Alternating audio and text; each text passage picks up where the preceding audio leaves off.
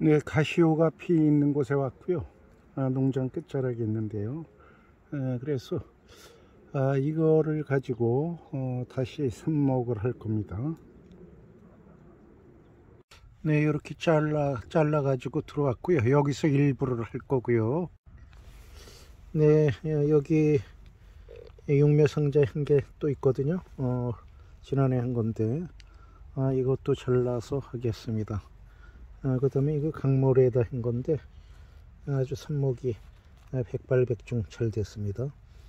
올해 예, 공정 습도가 높은 장마 때 옮길 겁니다. 네, 지난해 예, 삽목했던 것에서 삽수를 끊었어요. 네, 저는 예, 코코피트 준비를 했습니다. 예, 그래서 비력기가 없으면 없을수록 좋아요. 아, 여러분들은 마사토나 강모래나 아, 상토나 아, 주변에서 편한 거 어, 구입을 하시고요. 네, 그러면은 삽수를 조제를 할 건데요. 예, 삽수는 어, 어느 어, 수종이나 똑같습니다. 예, 그래서 이 잎이 있으면 잎자루가 있으면 이 잎자루의 부분이 캐러스 형성 물질이 가장 많습니다. 예, 그래서 이 잎의 잎자루의 하단 부분을 깨끗하게 절단을 해 주시면 돼요.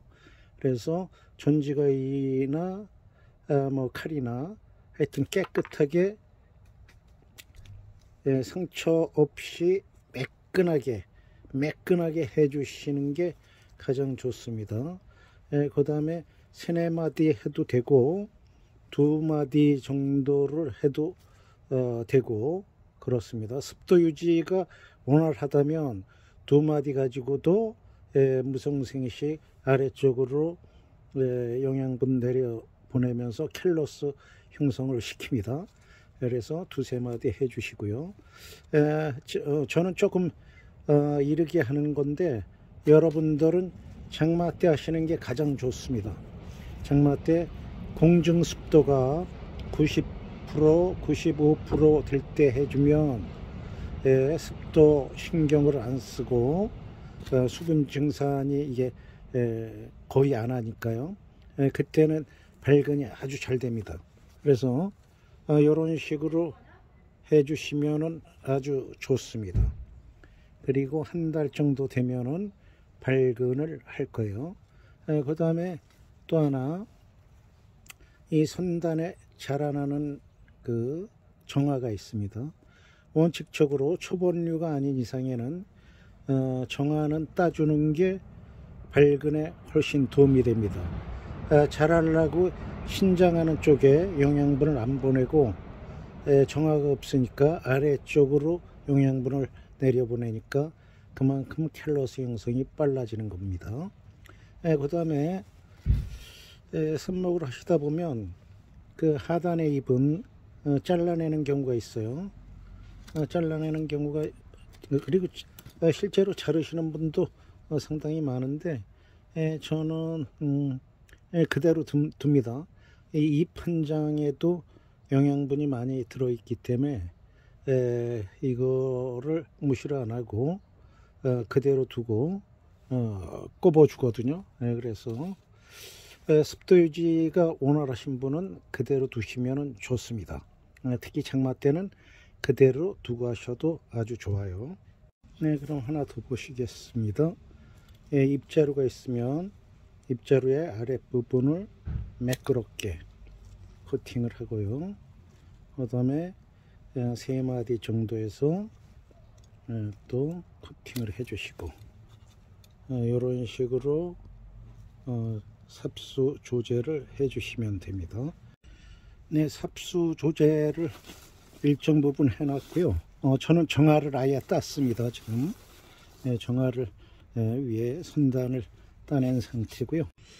자 잎을 방해가 되니까 꼽을 때 잎을 이런 식으로 같이 모듬어서 잡고 꼽아 주시면 되는데 예, 꼽을 때도 어, 지금 물을 준 상태이기 때문에 좀 강합니다 흙이 그 다음에 마사토 같은 거는 더 강하니까 예, 가급적이면 예, 젓가락 같은 걸로 이렇게 먼저 구멍을 낸 다음에 꼽아 주시는 것도 하나의 방법이 되고요.